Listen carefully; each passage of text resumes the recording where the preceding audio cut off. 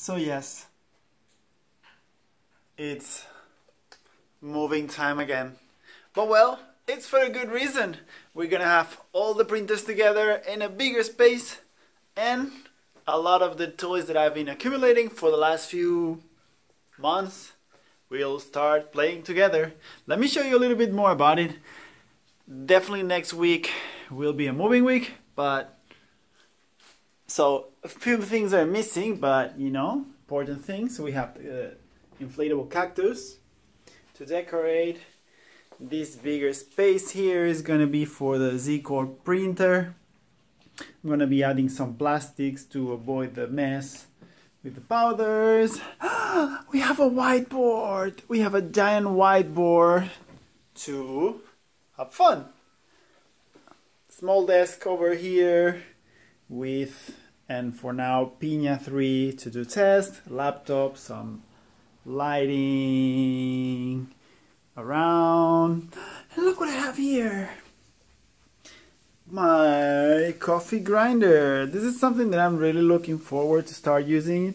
I bought it secondhand a few months ago and I haven't even cleaned it. I'm probably gonna be doing a video about it, but yeah, I'm super excited to be using these to powder new powders for the Z-Corp Monster that will be here. Um, plastic 3D printer from Maker, Colombia. Shout out to Carlos. Pier 9 posters from my time there. My shelf.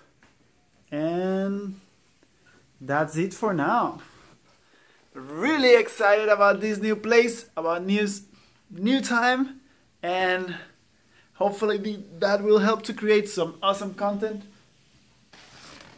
with a cactus in it. That's what, all that it matters. Yeah. Anyway, short vlog video update this week. Next week we're moving in. Woohoo! By the way, awesome audio. I have a micro that sounds professional and also have my makeup light to make this awesome ring around my blue eyes. Isn't it cool? Until next week, see ya!